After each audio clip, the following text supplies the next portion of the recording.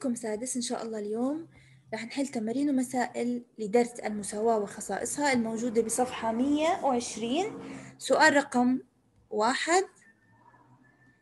انظر إلى الشكل. ثم حدد الإجراء المستخدم. صاد زائد 3 تساوي 11 وصاد تساوي 8 نلاحظ إنه 11 أصبحت 8 وصاد زائد 3 أصبحت صاد ما الإجراء الذي استخدم؟ إذا الإجراء الذي استخدم هو طرح العدد ثلاث من طرفي المساواة اثنين ما الذي يمكن عمله لتصبح الكفتان متساويتين فيما يأتي؟ لام زائد ثلاث موجودة لام زائد ثلاث ما هو الإضافة على هذه الكفة؟ هو قسمة اثنين إذا نقسم الطرف الأيسر على العدد اثنين لتصبح كفتي الميزان متساويتين. ثلاث ما الإجراء الذي تم على العبارة في كل مما يأتي؟ بما أن خمسة ضرب اثنين تساوي ثلاث في ثلاث زائد واحد فإن خمسة ضرب اثنين ناقص أربعة تساوي ثلاث في ثلاث زائد واحد ناقص أربعة. خمسة ضرب اثنين موجودة خمسة ضرب اثنين. ثلاث في ثلاث زائد واحد هي موجودة هون. ما هو الإضافة؟ ما هو التغيير الذي أجري هو؟ طرح أربعة من الطرفين. إذا طرح العدد أربعة من طرفي المساواة. ب. بما أن س تساوي خمسة س زائد خمسة تساوي سبعة فإن س تساوي اثنين. يعني بإمكانك تفكر في هالسؤال. ما العدد؟ إذا جمعت له خمسة بيعطيني سبعة هو اثنين. إذا الحكي صحيح لكن ما الإجراء الذي أجري على هذه العبارة؟ سبعة أصبحت اثنين يعني طرحت منها خمسة. ومن هون أنا كمان يجب طرح خمسة وخمسة ناقص خمسة صفر. إذا ضل عندي س تساوي اثنين. إذا الإجراء هو طرح العدد خمسة. إذا طرح العدد خمسة طرح العدد خمسة من طرفي المساواة. طرح العدد خمسة من طرفي المساواة لأنه سبعة ناقص خمسة الناتج اثنين. بما أن س تساوي صاد فإن اثنين س زائد سبعة تساوي اثنين صاد زائد سبعة. س موجودة هون أول إجراء ضربت س باثنين وأيضا ضربت صاد باثنين. إذا أول خطوة ضرب العدد ضرب طرفي المساواة بالعدد اثنين. الإجراء الثاني لاحظوا أنه تم إضافة العدد سبعة إلى طرفي المساواة بعد الضرب العدد اثنين. إذا تم إضافة العدد سبعة إلى طرفي المساواة.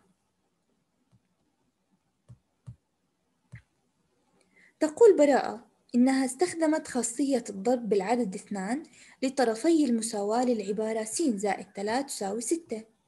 كونه ضربت باثنين إذا الضرب راح يكون لسين والضرب راح يكون لثلاث وأيضا إلى ستة. اثنين في سين اثنين سين. ثلاث في اثنين ستة. وستة في اثنين اثناش. ثم أضافت العدد أربعة إلى طرفي المساواة. إذا أضافت هنا العدد أربعة. وهنا العدد أربعة. اثنين سين ظلت زي ما هي اثنين سين. ستة زائد أربعة راح أجمع العددين ستة زائد أربعة عشرة زائد عشرة. تساوي ستاش. ما الخطأ الذي لكن كانت النتيجة مع براءة اثنين س زائد ثمانية تساوي أربعتاش. ما الخطأ الذي وقعت فيه براءة؟ نلاحظ أنها براءة لم تضرب العدد ثلاث في اثنين. لم تقوم بخاصية توزيع الضرب على الجمع. إذا الناتج الصحيح يجب أن يكون اثنين س زائد عشرة تساوي ستاش. إذا اثنين س زائد عشرة تساوي ستاش. تمام. الآن تحدي في التعبير الجبري ثلاث س ناقص. خمسة ما قيمة المتغير؟ ما قيمة المتغير؟ س ليكون ناتج التعبير أكبر من مئة. هل هناك أكثر من قيمة للمتغير س؟ إذا نلاحظ.